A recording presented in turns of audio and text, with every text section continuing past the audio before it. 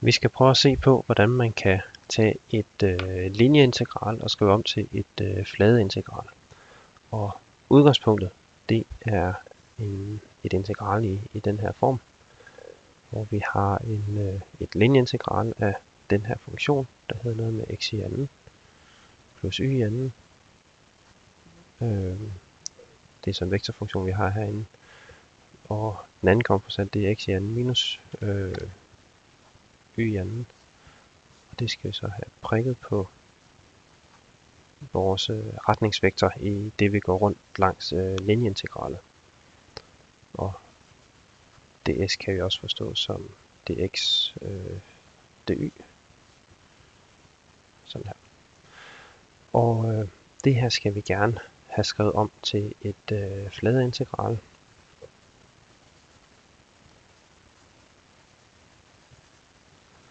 Over, en, øh, over et område, som har noget at gøre med, med det område, som øh, det her linjeintegral går rundt om. Og lad os lige prøve at beskrive øh, området først. Det skal opfylde øh, følgende ting. Lad os bare kalde området for R, og det skal opfylde, at 1 skal være mindre end eller lige med x, der igen skal være mindre end eller lige med 3. Og øh, for y-værdierne, der skal x være mindre end eller lige med y, der igen skal være mindre end eller lige med 3x. Godt.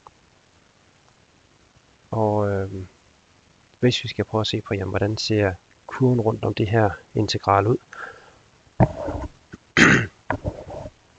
så kan vi først prøve at tegne området herop, og så prøve at se, hvordan vi, vi beskriver øh, det øh, bagefter. Så lad os lige prøve at tegne lidt.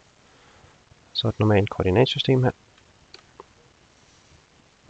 Med x på den ene akse og y heroppe af. Og så lad os bare sige 1, 2, 3.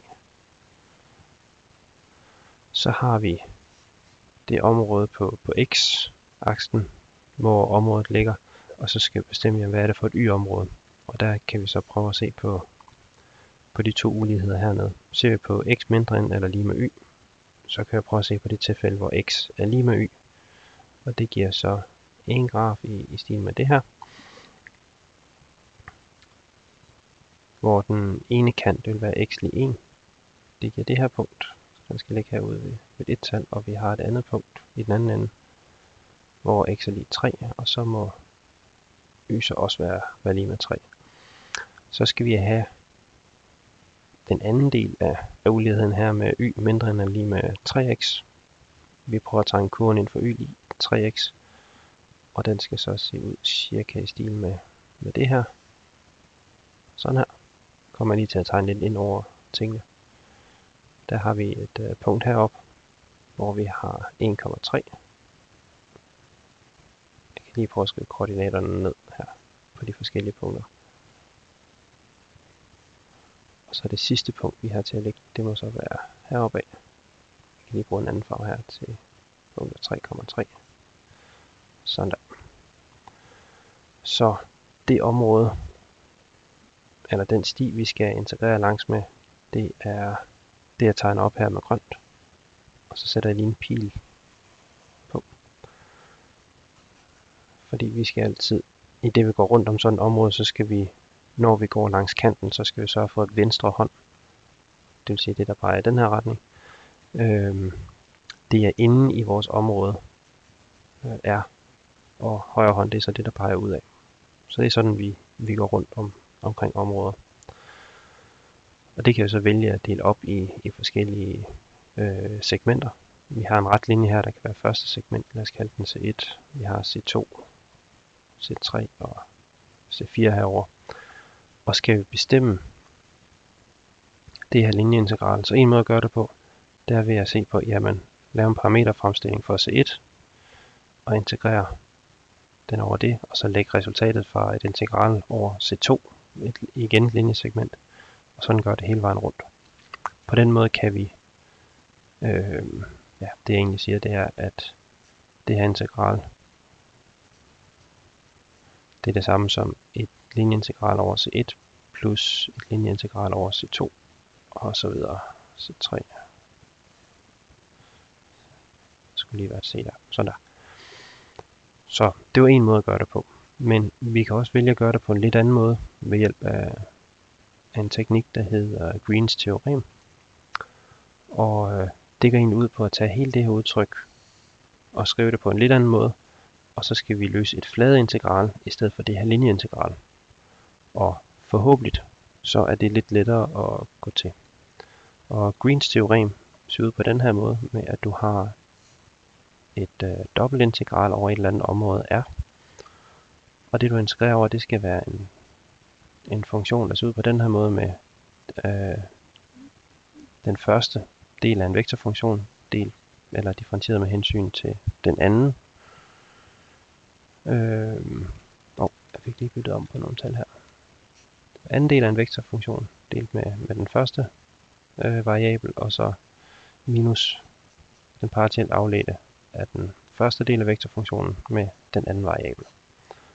Alt det her skal så integreres med hensyn til dA eller dx, dy, altså over det her område. Og finten med det her, det skulle være præcis det samme, som hvis man bestemmer et linjeintegral omkring kant, eller langs kanten af det her område er. Den vi kan se hernede. Hvis den ser ud på, på den her måde med, at man har den første del af vektorfunktionen og den anden del af vektorfunktionen, og så prikket med, og så det her lille element, der, der går langs kanten i det, vi integrerer op over. Så hvis vi har et integral på den her form, så kan vi skrive den om til et integral på den her form, som har præcis samme værdi, og i nogle tilfælde vil være lettere for os at bestemme.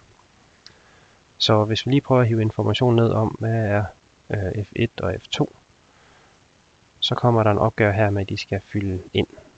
Hvad skal der stå på, på den her plads?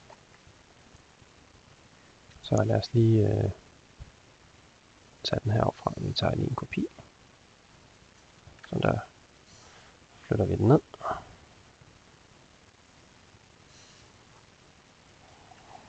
Og sætter fast.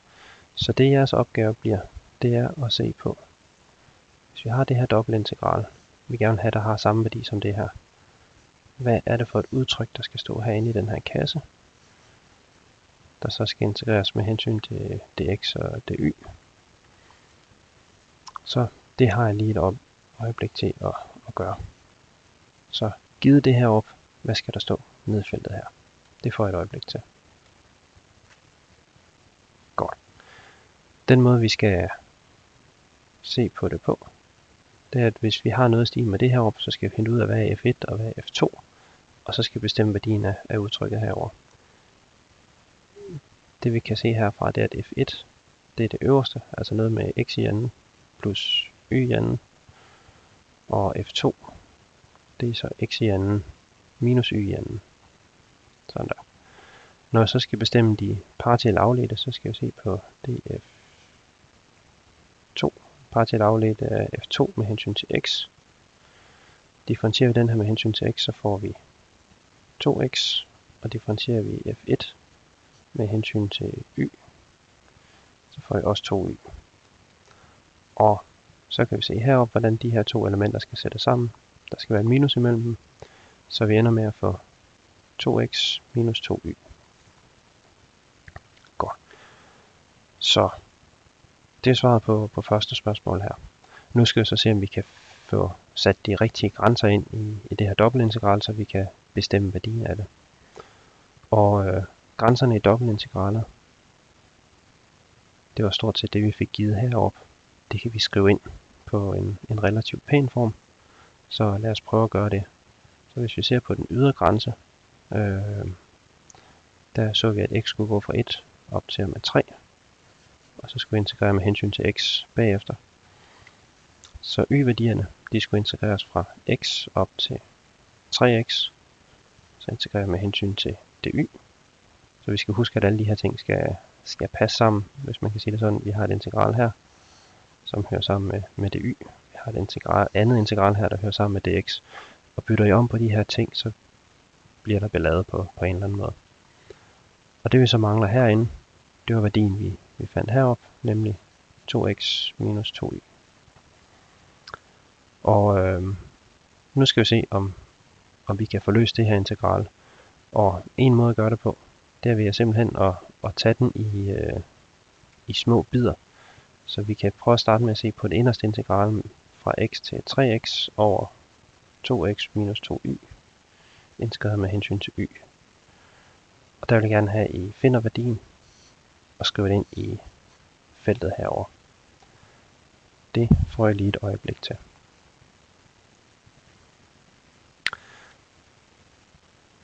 Den måde man kan gå til opgaven her på, det er først ved at finde en øh, stamfunktion.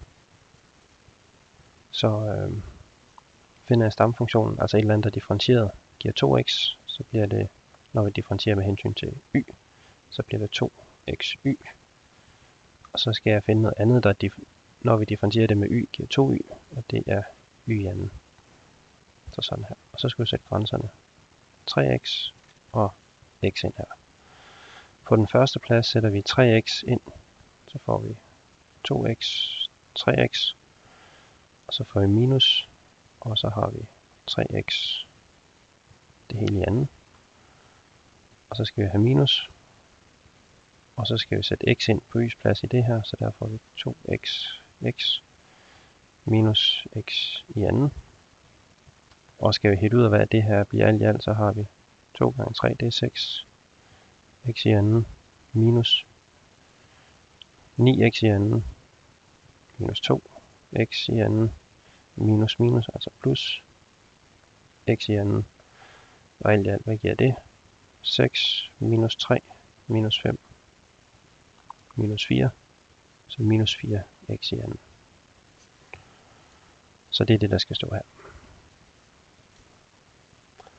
Når jeg så har fundet den her værdi, så kan vi løse det yders, yder øh, integral, altså den, der, der sagde, øh, hvad var det her, fra 1 til 3, så er det minus 4x i anden, det er x, og skal vi løse den, jamen så er det det, vi har fat i øh, lige før. Vi skal igen finde en stamfunktion, og en stamfunktion, det er en tredjedel x i tredje. Vi skal have sat x lige 3 ind og x lige 1 ind. Og så er det ellers bare at, at få fyldt øh, værdierne ind her. Vi har 3 i tredje minus 1 i tredje. Og alt i alt så får vi minus 4 tredjedele gange 26 eller minus 104 delt med 3, som er værdien af det her integral. Så det er et eksempel på, hvordan man kan tage et linjeintegral omkring et eller andet område, nemlig det område, vi havde tegnet ind herover, og så lave det om til et dobbeltintegral over det samme område, som har præcis samme værdi. Så nu har jeg set, hvordan man kan skifte mellem forskellige typer af integraler og egentlig gerne få det samme resultat.